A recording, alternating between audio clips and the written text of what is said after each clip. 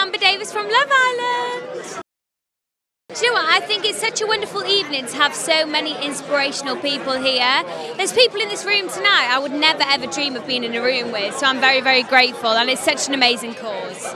There's a lot of very big men in the room tonight with the, rugby contingent in. Are you a fan of the rugby man? Is that is that the kind of I'm a Welsh girl, of course. I'm a fan of the rugby. Do you know what I mean? That's our like, sport of the country.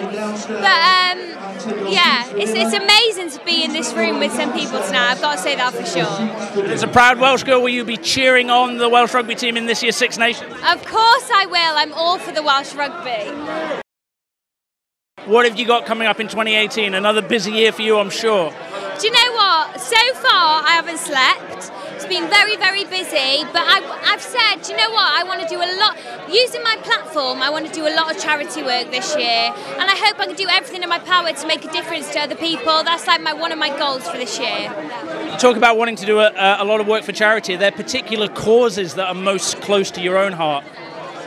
Well, my mum has worked all of her life for mental health, and I just think it's such it's such a good cause to bring up because everyone kind of ignores it or people are scared to talk about it and obviously you know my granddad died of cancer and, I, and my sister runs for make a wish so it's just that there's a lot of charities that are very close to my heart of course, obviously, at the moment, there's a huge discussion going on uh, with Me Too and Time's Up about the way women are treated in the industry. Uh, I, I, don't know, do you have feelings about that as someone who is obviously increasingly part of our TV screens and our entertainment landscape?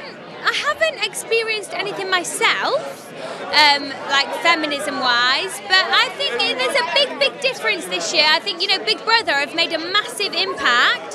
The fact they've brought it in and they've brought all the women in there and all the men in there that have, they have a specific, you know, they have their opinion on, on feminism. I think it's you know it's, it's brought to light a lot these days, and I think you know I haven't experienced anything myself, but you know I am a very big feminist.